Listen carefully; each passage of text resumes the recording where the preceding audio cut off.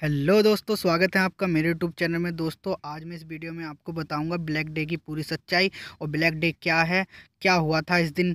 तो दोस्तों, बने रहे मेरे साथ इस वीडियो में।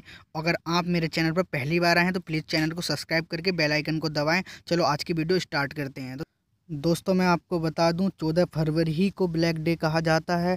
आप अभी भूले नहीं होंगे कि पुलवामा अटैक अभी पिछले वर्ष हुआ था। दोस्तों, पुलवामा अटैक में हमारे देश के 40 जवान शहीद हुए थे। उन जवानों ने अपनी आहुति दी थी। 40 जवानों के शहीद होने को लेकर पूरे देश में शोक छाया हुआ था पूरे देश में। एक हाहाकार मची हुई थी कि हमारे देश के 40 जवान शहीद हुए और क्यों हुए। दोस्तों, आपको पुलवामा अटैक की पूरी कहानी पता होगी, इसलिए मैं विस्तार में नहीं बताना चाहता।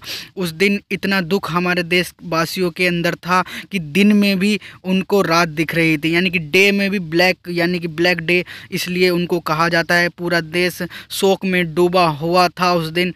तो आप दोस्तों, इस दिन वैलेंटाइन डे भी मनाते हैं। दोस्तों हमें ये नहीं भूलना चाहिए कि चौदह फरवरी को वैलेंटाइन डे ही नहीं, बल्कि ब्लैक डे भी कहा जाता है। अपने जवान उस दिन शहीद हुए थे तो हमें ज़्यादा खुश भी नहीं होना है। और मैं ये नहीं कहता आप वैलेंटाइन डे नहीं मनाइए। दोस्तों, वैलेंटाइन डे भी मनाइए, क्योंकि ज़िंदगी के साथ कुछ नहीं रुकता है, सब काम करने पड़ते हैं। मगर अपने शहीद जवान भाइयों को नहीं बुलाना चाहिए, और उनके बलिदान को हमें कभी नहीं भूलना चाहिए। दोस्तों, आपसे एक छोटी सी रिक्वेस्ट है देश के नाम एक लाइक ज़रूर करें, वीडियो को शेयर ज़रूर करें और मेरे चैनल को सब्सक्राइब करके जाएँ।